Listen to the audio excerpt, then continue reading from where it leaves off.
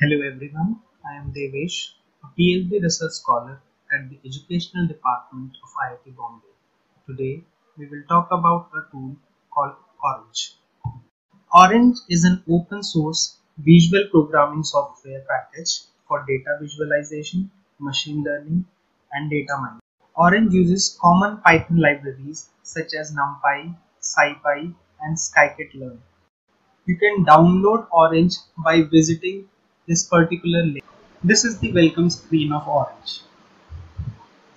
The white blank space here is called the canvas. These icons on the left are called widgets. These widgets are actually the computational units of Orange. They help in reading the data, processing it and visualizing it and building predictive models. The widgets have input-output channels. You just have to drag and drop it over the canvas. So this particular widget has only the output channel. A widget in particular may have input, output or both channels. Now these particular widgets have been mainly classified into five categories. The first category is data. The second category is visualize. It also has couple of widgets. Third being model, fourth is evaluate and fifth is unsupervised. These widgets actually communicate with each other with the help of these input output channels. Now if we double click the file icon, a dialog box will appear. This gives us a choice to use our own dataset or we can also use the dataset that is provided by Orange. This also provides us a description about the various features that are involved. So these are the names of the features.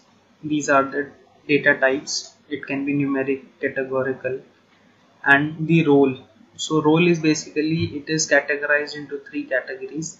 Either it is a feature or it is a metadata or it is the value to be predicted and these are some of the values that these variables take now we are choosing this particular file so now that particular file has been uploaded now let's briefly describe the various categories so the first category of widgets is data widgets in this category allows importing the files and pre-processing of the data the second category is visualize.